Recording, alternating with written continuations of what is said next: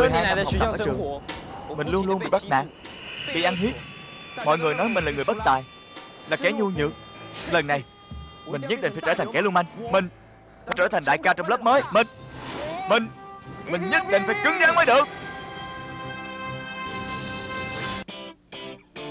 Công ty Sang Văn giới thiệu Pha phim Việt Nam phát hành Bộ phim Tôi muốn trở thành trái hồng giòn Do Đài Loan sản xuất. Giám đốc sản xuất Sa Khánh Dư Biên kịch Dạng Nguyên Nguyên Trần Dục Quân Diệp Gia Linh. Đạo diễn Dương Quán Ngọc. Với sự tham gia của các diễn viên Dương Minh Quy Dương Tâm Như Trần Đức Liệt Trần Ý Hàm Lý Dịch Cao Dĩ Tường Và một số diễn viên khác. Diễn viên lồng tiếng Nguyễn Vinh Quy Hồ Thành Nhân Ý Nhi, Minh Thảo Tùy Trang.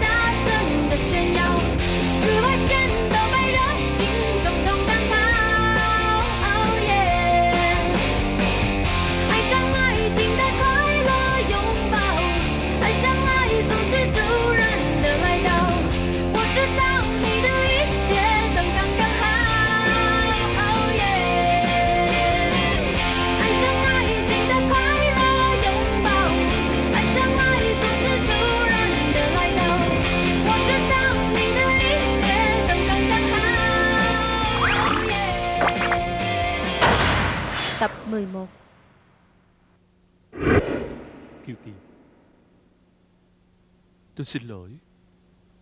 Thì thì Không phải cố ý đâu. Tôi biết mà. Bạn thấy còn chỗ nào đau không? Đầu gối Hay là chỗ cổ tay? Lúc vừa ngã xuống thì rất đau.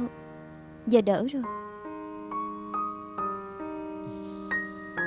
Bạn có biết Lúc trước khi bị chém Tôi làm sao cho đỡ đau không? Làm sao? Uống rượu.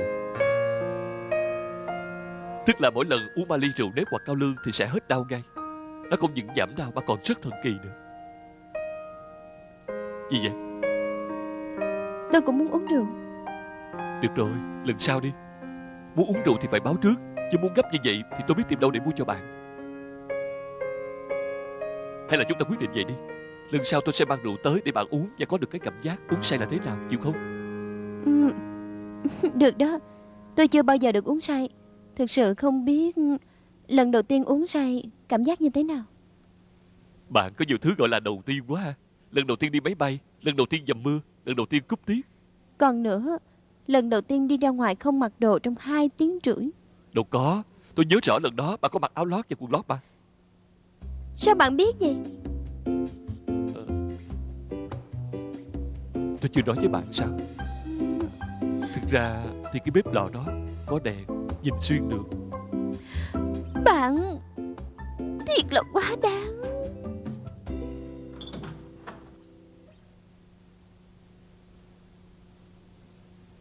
Bắt đổ Ờ. Tiểu Kỳ con sao rồi? Hôm nay có khá hơn không? Dạ đỡ hơn rồi. Dạ thưa bác Cháu thành thật xin lỗi. Cậu không cần xin lỗi. Những lời cậu vừa nói Thì cái cô Tôn Thi Thi và cậu La cái gì hổ đó Cũng đã nói hết rồi. Nhưng mà tôi cho cậu biết nha Kiều Kỳ nhà tôi lần này Chỉ tay xước thôi. Nếu như có lần sau Mà bị nghiêm trọng hơn như là gãy tay chân Thì ai là người chịu trách nhiệm chứ. Cháu sẽ chịu. Cậu nói cái gì? Cậu chịu trách nhiệm. Có nổi không vậy? Cậu muốn theo đuổi Kiều Kỳ nhà tôi Có phải vậy không? Ba à Đừng nói vậy mà. Bắt đổ à Ý của cháu là Nếu như Kiều Kỳ bị gãy tay hay gãy chân Cháu sẽ chịu trách nhiệm Nhưng mà Cô ấy bây giờ không sao. Cậu đừng lẻo mép quá. Chẳng phải là cô đang học lớp dự bị sao? Suốt ngày cứ chạy tới cái quán rượu phức tạp gì đó. Như vậy làm sao mà học tốt cho được chứ? Vậy tôi hỏi cậu việc này. Kết quả thi năm ngoái của cậu thế nào? Điểm trung bình các môn là bao nhiêu? Ờ, 95 điểm. Cũng khá đó. Với kết quả như vậy Thì thi vào trường đại học Đài Loan là không vấn đề gì Sao cậu phải thi lại vậy? Cháu cộng 6 môn lại Mới được 95 điểm thôi. 6 môn 95 điểm. Ờ. Nếu quả thật kết quả là như vậy Tôi thành thật khuyên cậu Nên thi vào trường tiểu học chắc đỡ hơn. Ba Đừng nói nữa mà. Được được được. Không nói không nói. Ăn táo đi. Ờ không phải cháu Tôi không thể tưởng tượng nổi Là sao cậu lại thi được 95 điểm Bây giờ thanh niên mấy cậu, Tuổi thì còn nhỏ, Làm toàn những việc gì đâu. Sao hàng ngày không lo học hành? Cứ sáng tới tối tập trung tới mấy chỗ phức tạp rồi làm loạn.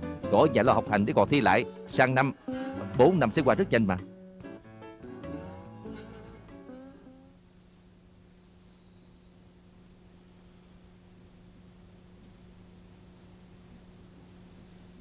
Chủ tịch, vì lại cãi nhau với bếp trưởng nữa hả? Thì cũng cái việc yêu cầu tăng lương. Tất cả các chủ quản đều có mức thu nhập hàng tháng 10.000 trở lên. Mức lương của anh ta tăng hay giảm Đều phải có sự đồng ý của hội đồng quản trị. Anh ta không đợi gì Đã đi báo cáo trực tiếp với hội đồng quản trị Là anh ta không làm việc nữa. Người đâu mà tham lam. Tham lam cái gì? Bây giờ người nào cũng muốn lên mặt với gì mà Phải không? Làm gì có. Ờ mà trước đây con nghe nói tính khí anh ta như vậy rồi. Tính cái gì mà kỳ vậy? Vì cần gì mấy người như vậy chứ? Ờ đúng Có vậy. tiền sợ gì không tìm được người làm. Chết đi được. Được rồi dì đừng bực tức nữa. Giờ có một việc rất quan trọng nè. Thế chỉ có việc gì hả Có phải nó muốn ói hay là nó bị nhức đầu? Quan đã sức khỏe thì không sao Nhưng mà người thì không, Không thấy hả? À đúng vậy. Nó biến mất từ lúc nào? Chẳng phải con nói mới đưa nó về nhà sao? Ờ, đúng vậy. À, Hay là nó bị bắt cóc hay tống tiền rồi? Không phải đâu dì đừng có như vậy mà. Lúc mới biết thì con đã báo cảnh sát rồi. Báo cảnh sát? Ừ, Không cần báo cảnh sát nữa Bởi vì nó đã gọi điện về nói với con là nó đang ở Bính Đông Tìm bạn của nó khi nào xong việc sẽ về. Sao con không nói liền với gì Thích chị ở Bính Đông là được rồi. Tự nhiên con nói không thấy nó. Ý con muốn nói là muốn kể rõ cho dì đầu đuôi sự việc mà Là sao nữa vậy? Con mới nghĩ ra ý này. Có phải là tên đầu bếp đó không làm nữa? Chúng ta có thể nhân cơ hội này mời người tình xưa của dì là Đỗ Nhật Niên để lấp vào vị trí đó. Chẳng phải tài nghề của ông ta khá lắm sao? Ông không đồng ý làm phó tổng nhưng mà làm tổng bếp trưởng thì chắc là được rồi. Đó là một cách hay đó. Vì mời ổng về làm phó tổng Thì ổng ngại là có quan hệ với gì? Ừ. Nay vì mời ổng về làm bếp trưởng Là vì ổng có tài. Nhất định ổng sẽ không từ chối đâu Đúng rồi Mình thông minh quá. Thiệt là hữu dụng. Táo ăn ngon không gì ừ, Ăn cũng được. Trái đó là con đang ăn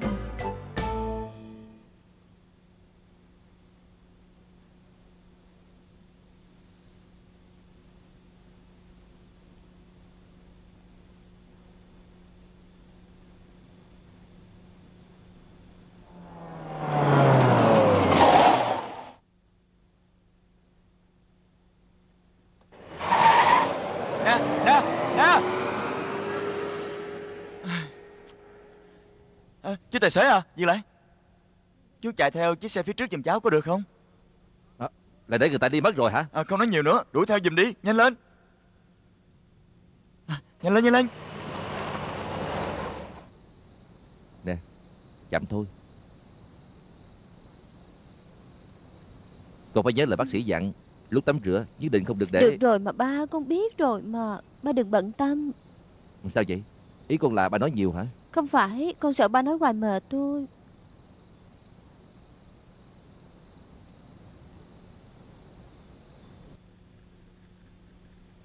à, Vừa rồi tôi thấy Kiều Kỳ đi không được thoải mái Bị sao vậy Chân bị thương hả À không có gì Nhưng mà hôm nay cô đến nhà tôi khuyên như vậy Có phải là có việc gì quan trọng hay không À, chuyện là như vậy.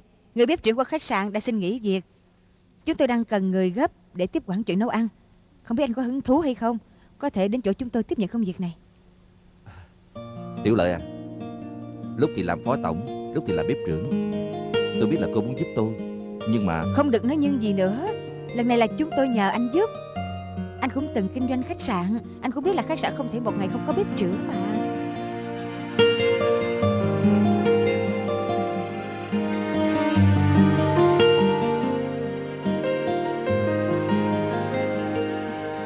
Về tiền lương hàng tháng Tôi không có cách nào trả anh nhiều được. Mong anh thông cảm cho. Lương chỉ có 180 ngàn Có ít quá không? 180 ngàn? Sao nhiều quá vậy?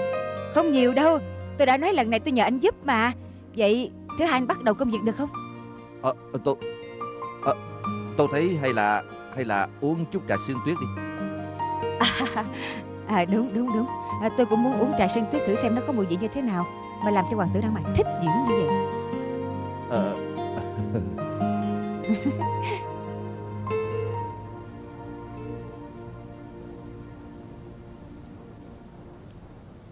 Thi Thi. Em vào trước đi Anh đi mua đồ ăn. Em thích ăn thịt. Anh biết là em muốn ăn thịt.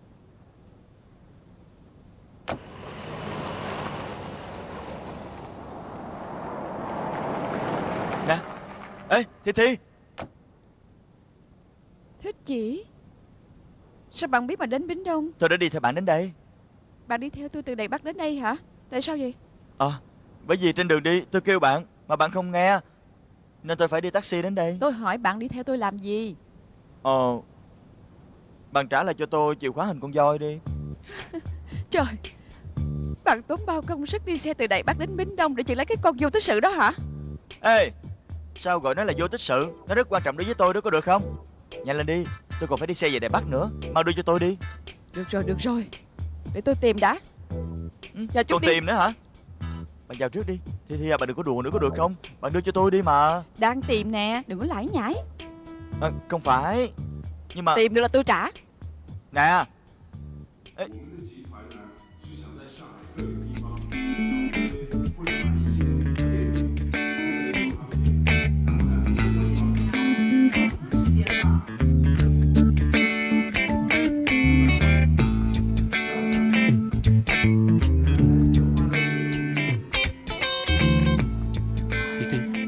Sao em không mời bạn trai mới của em tới cùng ăn gà nướng đi. Dạ xin lỗi. Thưa anh ờ, Thứ nhất Em không có ăn thịt gà. Thứ hai Em không phải là bạn trai mới của cổ. Thứ ba Em chỉ là bạn học cùng lớp dự bị với cổ Bạn không cần phải phủ nhận. Nếu như bạn là bạn trai tôi Thì tôi cảm thấy xấu hổ lắm. Anh à Đừng để với cô ta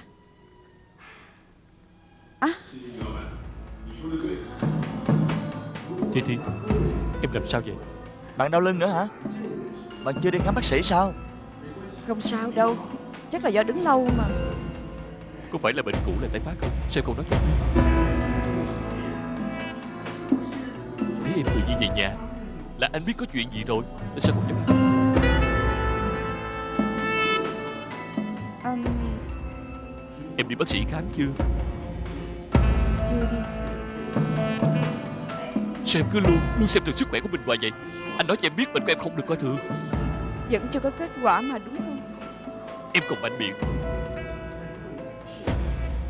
Ngày mai anh có việc Nhất định phải đi Đại Lục một chuyến. Em ngoan ngoãn ở lại Bính Đông Không được đi đâu hết có nghe chưa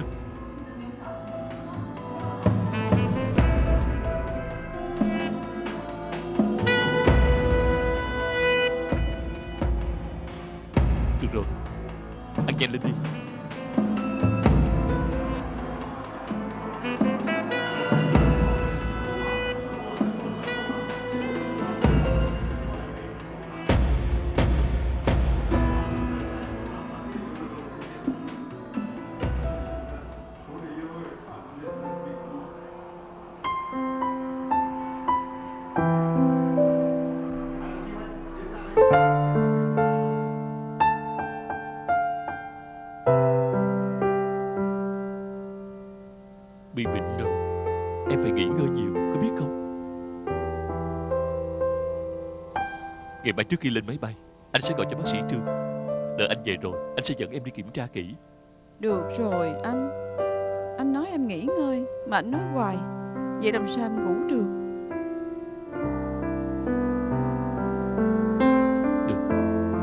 Vậy em ngủ ngon. Có gì thì gọi cho anh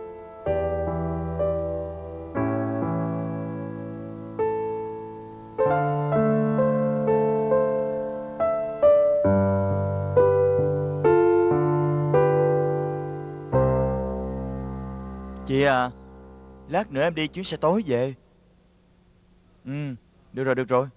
Em biết rồi biết rồi mà. Em sẽ giải thích với mẹ sao Được rồi được rồi, em biết rồi. Bye bye.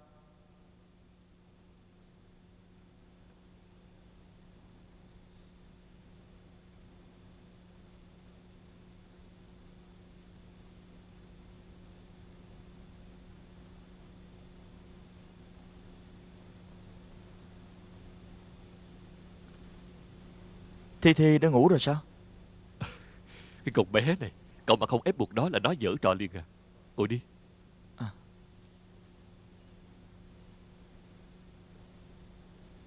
Hình như bạn ấy rất nghe lời của anh. Trong nhà này chỉ còn lại mình anh là có thể quản được nó thôi.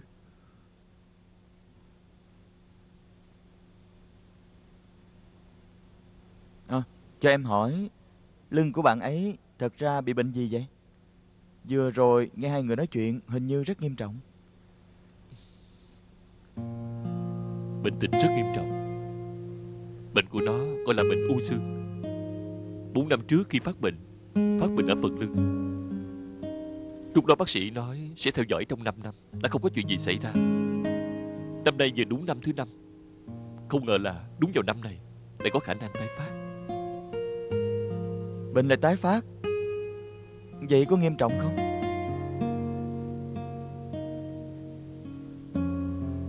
Khả năng sống sót không cao.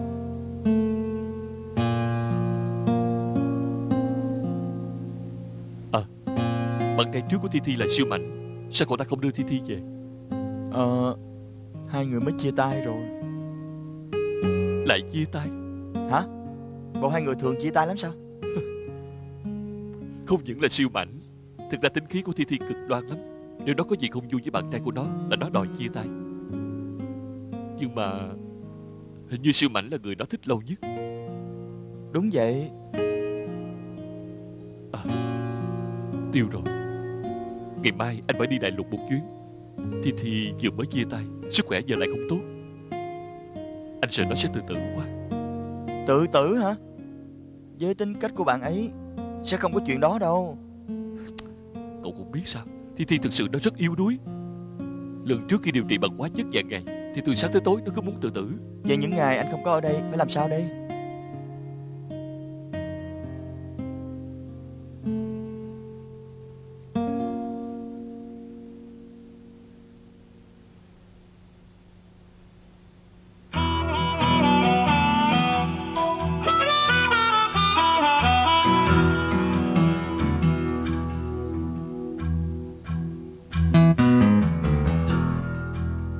Tới tôi nhờ cậu giúp. Ờ, Chuyện này em em thấy là à, Nè. Tôi nhờ cậu qua chừng Thi Thi. Nói nó ăn nhiều rau và trái cây. Được. Sáng mai thức dậy tôi sẽ nói nó là phải nghe lời của cậu. À còn nữa Tôi đưa cho cậu số điện thoại của tôi Ở bên Đại Lục. Cậu có thể gọi tới số này gặp tôi. Nè Ở đây còn có tấm danh thiếp. Đây là bác sĩ trị bệnh của nó. Nếu như bệnh nó có xảy ra chuyện gì Thì cậu dẫn nó tới bác sĩ này. Tất cả là nhờ cậu. Cậu đáng giúp tôi nha Tôi đi giúp cậu chuẩn bị mình gối. À, à, Chuyện này em thấy là em à,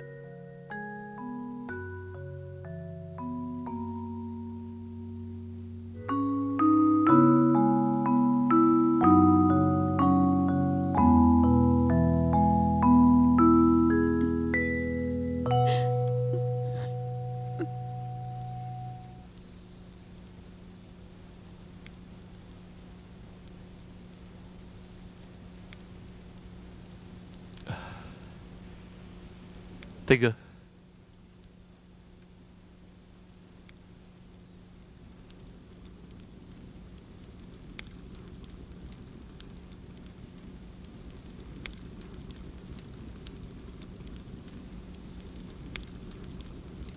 Siêu mạnh, Ngày mai mày có đi tìm Thi không? Cô ấy đã về được một ngày rồi, Mày không thể bỏ mặt cô ấy Ai, Đúng đó.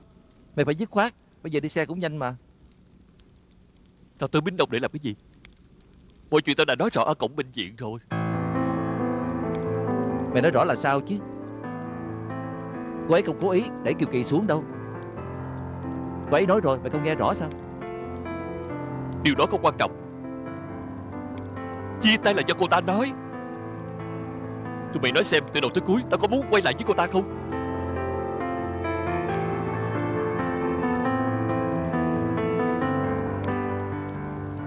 Trả lời tao đi.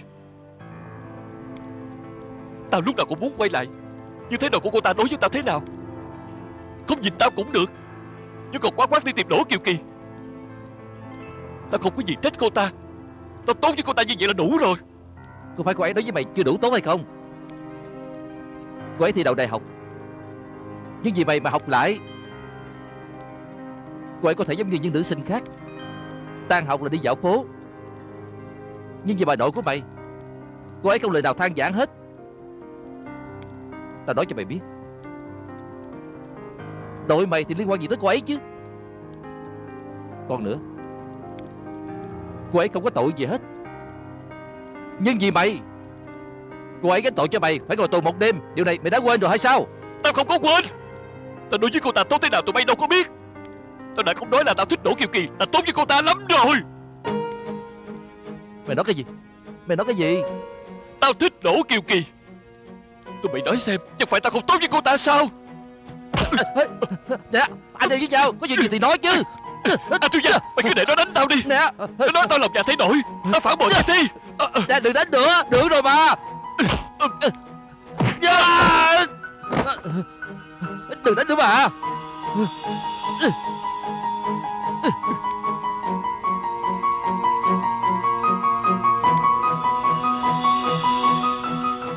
Thi Ngân mày nói đúng. Tao phản bội Thi Thi. Nhưng mà ít ra tao cũng dũng cảm. Bởi vì tao dám nói ra Là tao thích Đỗ Kiều Kỳ. Còn mày, Rõ ràng là mày thích Thi Thi. Mày có dám nói không?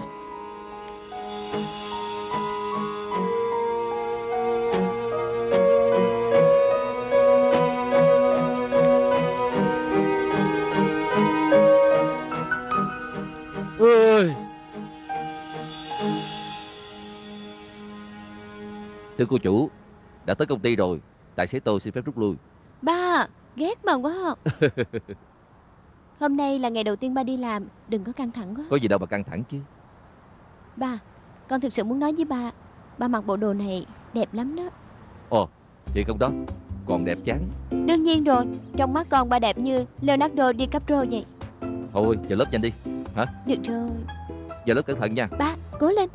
Cố lên. Bye bye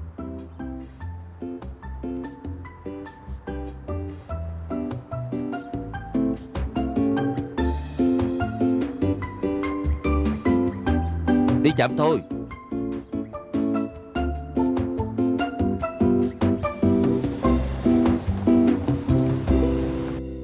Đây là bếp trưởng mới mời về của phong qua chúng ta Đỗ Nhật Niên. Xin chào. Xin chào mừng à, hạnh. Xin chào. Ông Đỗ mời ngồi. Cảm ơn. Ông ấy có kinh nghiệm rất phong phú. Tôi muốn tất cả công việc của nhà ăn Đều do ông Đỗ đây quản lý. Hy vọng sau này mọi người có thể hợp tác vui vẻ Rất mong được mọi người chỉ bảo. Ông có lời nào muốn nói cùng mọi người không? À, Tôi nghĩ món ăn chính là cuộc sống. Khi làm việc chúng ta phải dùng cái tâm của mình Sẽ không có việc gì khó đâu.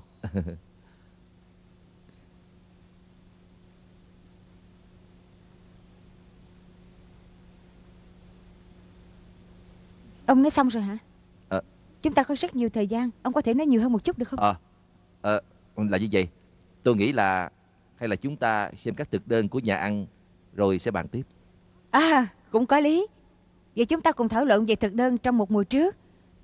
Đầu bếp Lâm Anh đã có đủ thực đơn của năm nhà ăn của khách sạn Phong Qua chúng ta chưa? À báo cáo chủ tịch Tôi đã chuẩn bị đầy đủ rồi. À được. Chúng ta bắt đầu cuộc thảo luận. Ông Đỗ Phong Hoa có các nhà ăn theo phong cách Trung Hoa Pháp Italy Nhật và phong cách Hàn. Đây là thực đơn của năm nhà ăn mà anh xem qua. Cảm ơn anh. Đặc biệt là phần thực đơn của nhà ăn Trung Hoa. Giá cả và tên gọi món ăn Là do đầu bếp Lâm và tôi nghiên cứu rất lâu Mới cho ra như vậy. Tôi đặc biệt đi tham khảo các nhà hàng tiêu chuẩn 5 sao. Tờ này có nội dung phong phú nhất.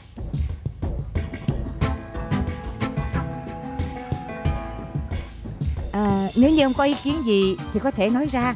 Chúng ta chỉnh sửa một chút Không có vấn đề gì. Tôi thấy tờ thực đơn này Ừ. Tờ thực đơn này Nó phải được thay đổi toàn bộ.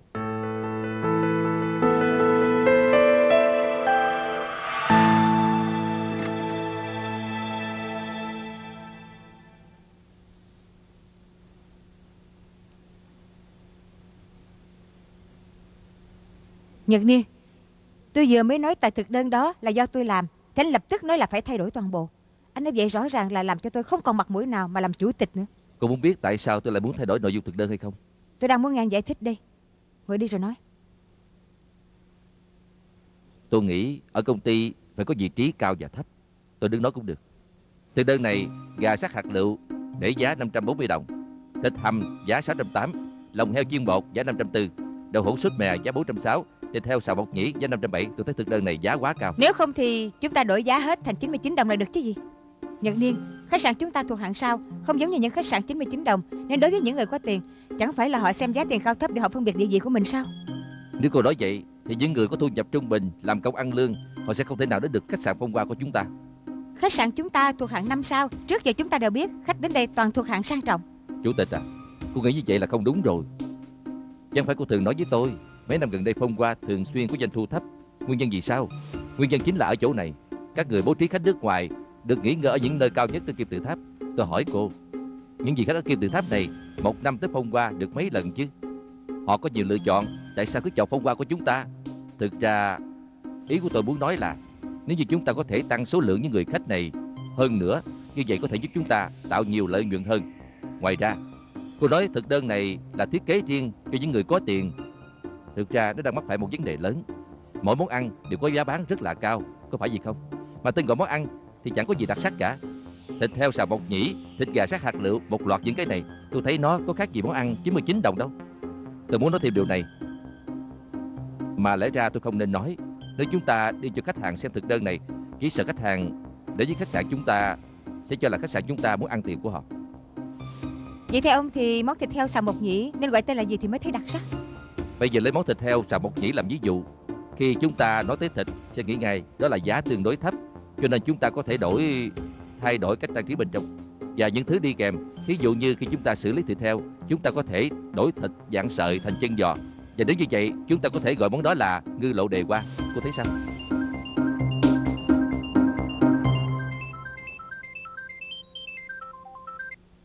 Alo thích chị. Chẳng phải con nói là con sắp về. Sao bây giờ vẫn chưa thấy? Rốt cuộc thì con ở Bến Đông làm gì? Con không muốn đi học nữa hả?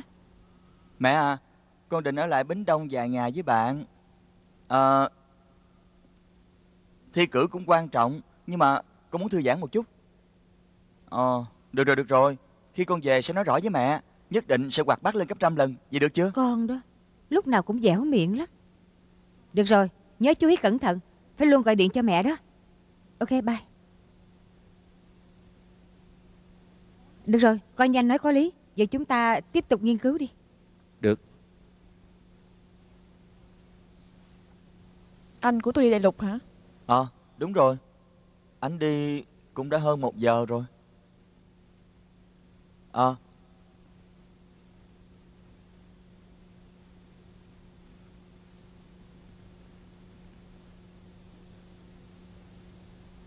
Bạn ổn chứ?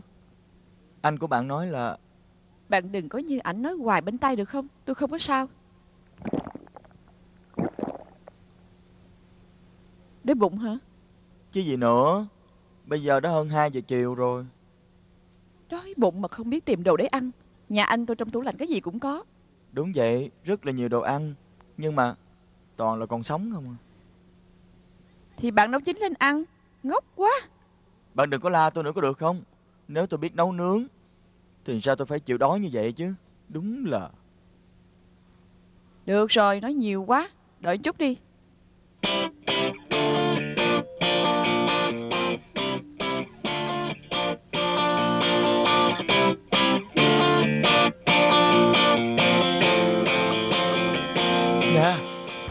Không ngờ bạn lợi hại như vậy. Không phụ một tay đứng đó cười nữa. Ê Nói thiệt nha. Có phải bạn đã đi chợ đêm Mua đồ nấu sẵn không?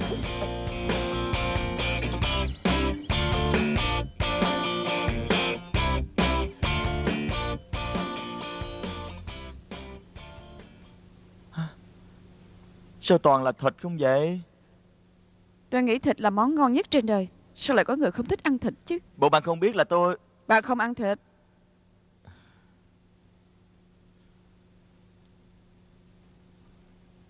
Cảm ơn. Thiệt không hiểu nổi. Nhà bạn giàu có. Sao bạn không biết hưởng thụ hả? Nè Bạn thật sự là không ăn một cục thịt nào hả?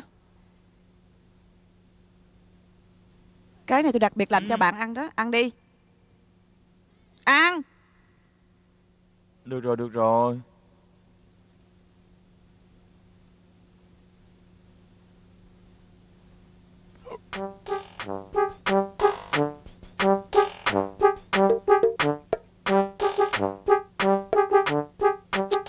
Uhm, Thịt ngon quá.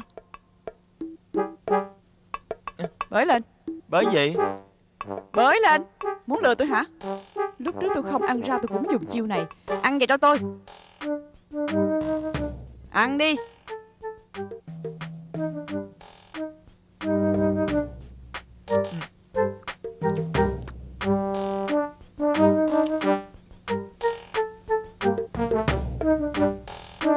Ăn mới có cục nhỏ. Làm gì ghê vậy? Ăn chay không thôi hả? Đằng sau nhà tôi có cái miếu kìa Có cần tôi giúp bạn xuống tóc không?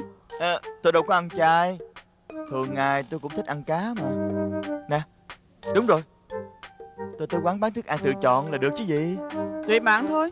Nhưng mà đi đến được chỗ đó thì phải mất hơn nửa giờ lái xe. Hả? Nói thiệt hay sao vậy? Nửa tiếng lần hả? Vậy là trong mấy ngày sắp tới tôi chỉ được ăn có nhiêu đây thôi sao? Muốn ăn cá hả? Kế bên có đó. Kế bên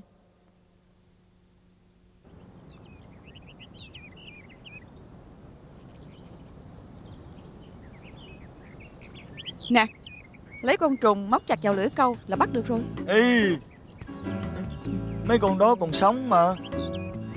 Làm vậy có được không? Làm vậy để nó sớm quá kiếp làm người Vậy không tốt hơn sao? Độc ác quá. Đừng cử động. Cầm lấy. Ác dữ vậy. Sao mà nhát quá Nhìn tôi nè. Làm như vậy, Lấy con trùng móc vào lưỡi câu. Sau đó ném lưỡi câu ra xa. Như vậy được rồi.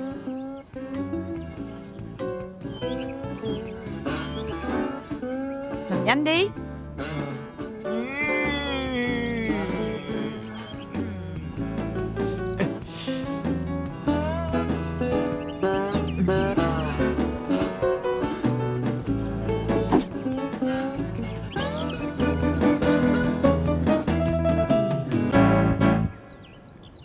Chị Hả? Đặt quạt ra xa chưa? Vẫn chưa. Sao tôi, tôi quăng hoài không được nè. Đã xem thử đủ chưa? Hả? À, À, Xin lỗi xin lỗi. Tôi không cố ý đâu. Con gái các bạn ai cũng đều mặc vậy hả? Loại này cũng đẹp lắm đó. Bạn bạn còn có hoa văn Hình hoạt hình nữa. Mắc cười thì Thế chị Giờ ở đây không có ai hết. Bạn có tin là bạn chỉ cần nói một câu nữa Tôi giết bạn chết liền không? Giết chết không tìm thấy xác luôn đó. Hả? Hả? Hả? Cứu tôi với! Kêu cũng vô ích thôi. Nè Cần câu có bàn động đẩy kìa. Bạn coi. Đúng, đúng rồi đúng rồi. Còn có mấy tới phụ nữa. Hả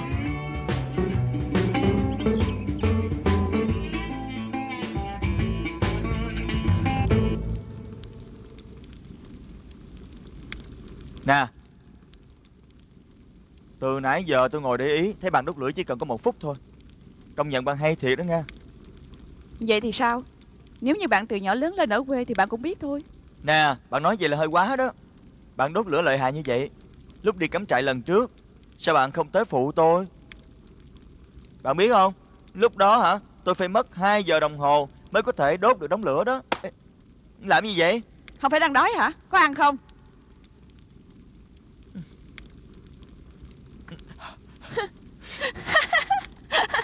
Nóng quá à. Ngốc quá. Sao bạn cười vui quá vậy? Bạn và Sim ảnh chia tay bạn không buồn sao?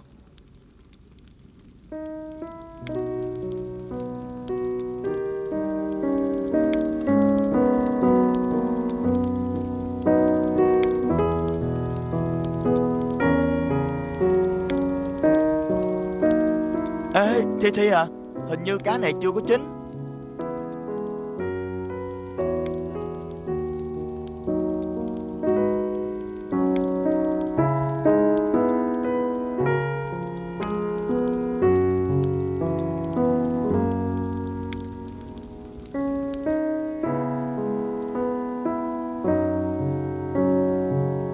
Thi Thi không về lại Bính Đông Thì nó đã ngồi đây cùng học với tụi mình rồi. Đúng đó. Để gói ô mai ở đây Coi như là nó vẫn đang ngồi đây. Ừ. Để gói ô mai ở đây Sao giống đồ để cúng thi thi vậy? Nó còn sống mà. Thôi đi mày có hiểu không vậy? Đây gọi là vật tưởng nhớ người. À, Vật tưởng nhớ người hả? Tiger. Cho nên các bạn có liên lạc với Thi Thi không Không có Ừm. Hay là nhân lúc tuần này được nghỉ Tụi mình đến Bính Đông tìm cô ấy đi Tiện thể đi chơi hai ngày một đêm luôn Tuyệt quá Tiện thể ngắm cảnh một công Ừ. đôi việc Đi Đi. đi Đi đi mà Nè.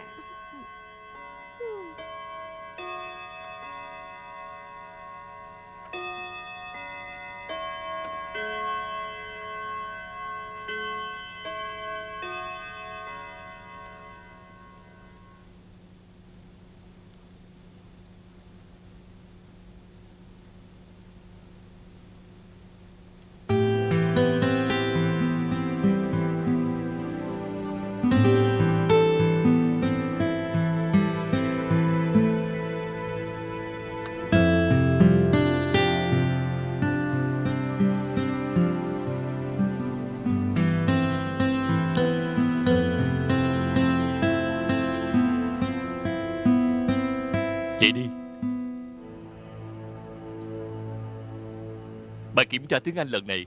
Ngoài các bạn có thành tích tiếng Anh tốt ra. Còn lại đa số là làm bài không đạt. Nhưng mà Bài kiểm tra lần này đã xuất hiện một hiện tượng lạ. Trước khi trả bài kiểm tra, Tôi muốn tuyên dương em học sinh này. Đó chính là lớp phó của chúng ta, Dương Siêu Mảnh.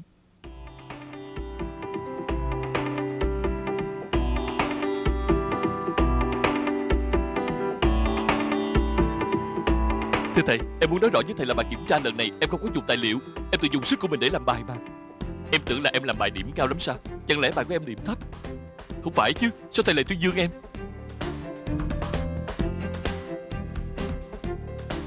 62 điểm. Đây là số điểm cao nhất trong đời học tiếng Anh của mình.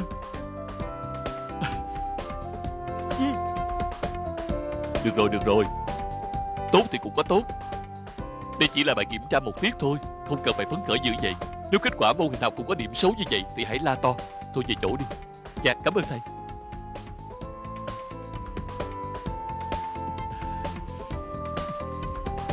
Cô giáo, xem dùng trò đi. Cô giỏi quá. Bạn làm mà. Cô đi đọc thế nào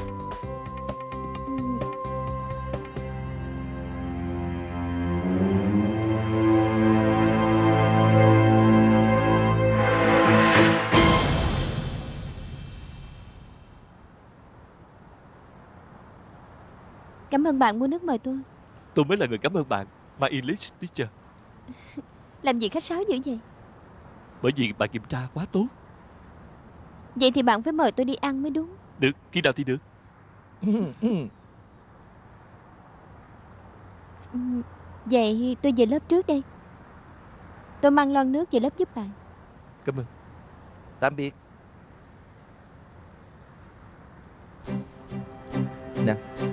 Thi Thi đang rất đau khổ ở Bính Đông. Còn mày thì dám ở đây vui vẻ với người khác. Không lẽ mày kêu tao khóc sao?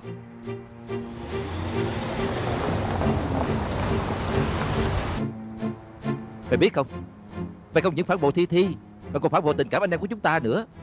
Mày tự biết An Thiếu Gia rất thích Đỗ Kiều Kỳ. Nhưng mà mày làm vậy Mày có thấy quá đáng lắm không? Mày nói cái gì? Ơ nè nè nè nè nè.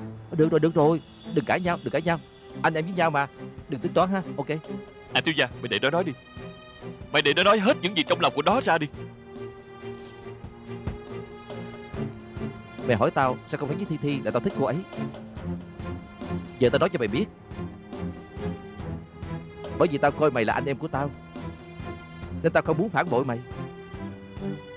Coi như suốt đời này, Tao chỉ đứng từ xa nhìn Thi Thi. Tao cũng cam lòng nữa.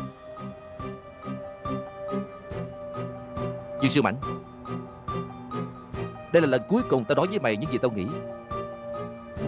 Bởi vì từ nay về sau Chúng ta không còn là anh em nữa.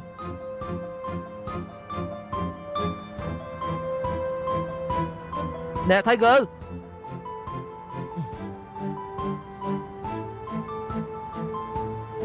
Siêu Mạnh à Chúng ta về lớp đi. Hôm nay tao nghỉ học. Nè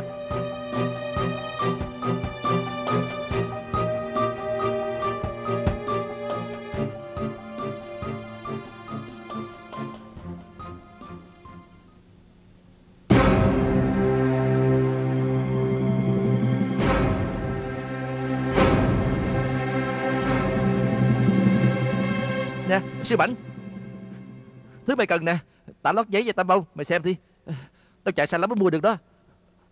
Tao bắt tiểu quá Lên toilet nha. Cảm ơn mày.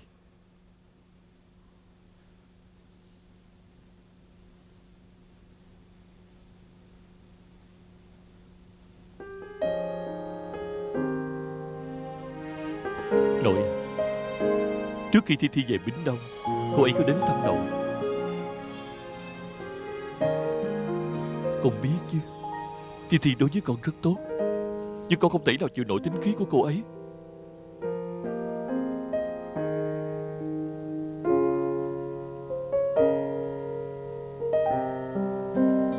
Thực ra Thi Thi Đã kiên quyết nói lời chia tay.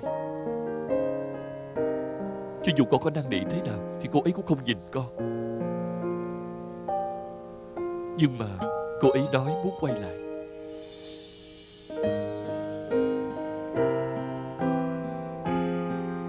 Con không thể nào lừa dối chính mình. Vì con biết rõ mình đã thích Đỗ Kiều Kỳ. Vậy thì con không thể quay lại với Thi Thi nữa, có phải không?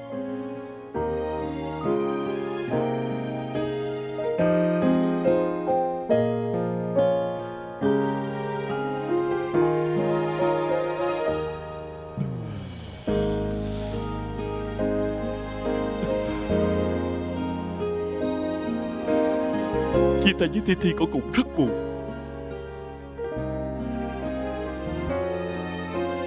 Cô từng nghĩ sẽ chăm sóc cô ấy suốt cuộc đời này.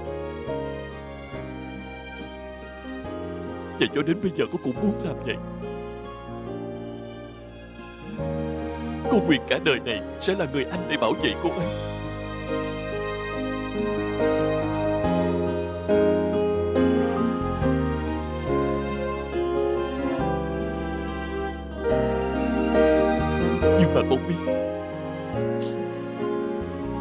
Thi Thi không cần điều này.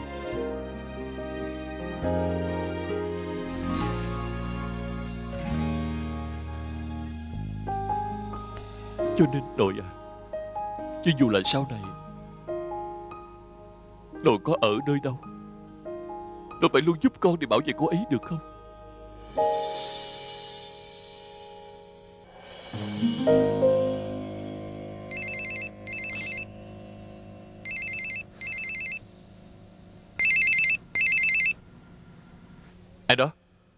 Tao là Tường Ân. Mày không nhớ sao? Cái gì? Kiều Kỳ đang ở chỗ của tao. Có phải mày là bạn trai hiện giờ của nó không? Mày thấy chết mà không cứu hả? Chỉ cần mày đụng vào cô ấy là mày chết với tao đó. Tao thì không đụng vào nó đâu. Nhưng mà tao không chắc Tụi bạn của tao có chịu nổi hay không. Tụi mày đang ở đâu? Tao tới liền. Nè Có chuyện gì? Đi đâu vậy? Kiều Kỳ đã bị bạn trai cũ bắt cóc Tao phải đi cứu cô ấy. Nè Để tao đi với mày. Nó nói chỉ có một mình tao đi thôi Ê! Bài thứ nhất. A lớn hơn hoặc bằng không? B lớn hơn hoặc bằng không? Và A cộng B. Nè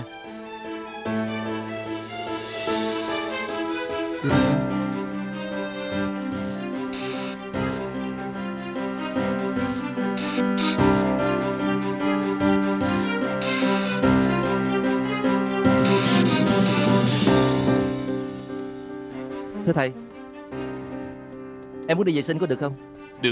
Đi mau vô học đó. Sao mày không vô học vậy? Siêu mảnh sắp xảy ra chuyện rồi Còn học hành cái gì nữa? Nếu mày nói tao ra đây vì chuyện của siêu mảnh Tao không nghe đâu. Nè. Kiều Kỳ bị bạn trai cũ bắt cóc rồi Siêu mảnh đi cứu cô ta nguy hiểm lắm.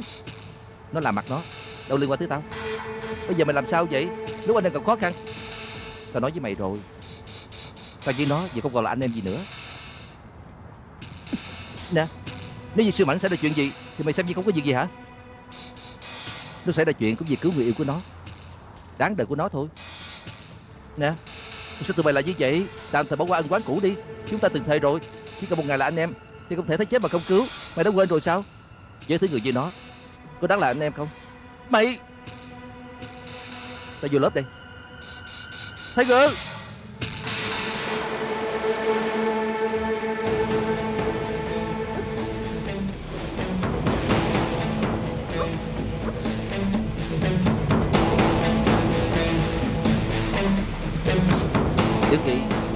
Yên tâm đi.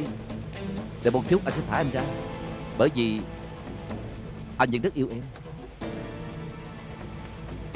Xem bộ dạng của em như thế này, Anh thấy cầm lòng không được.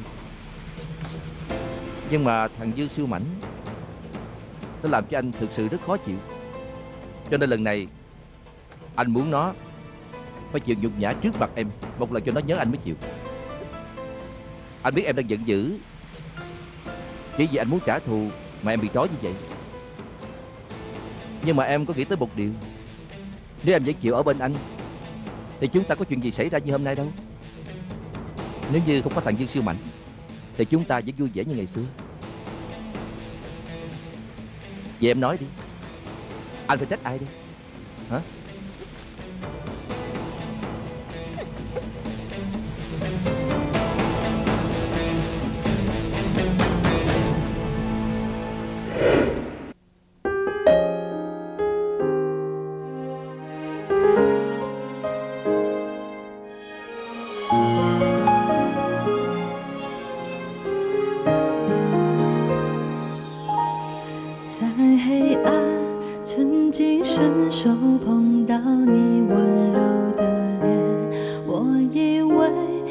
是给我忘记痛苦的滋味。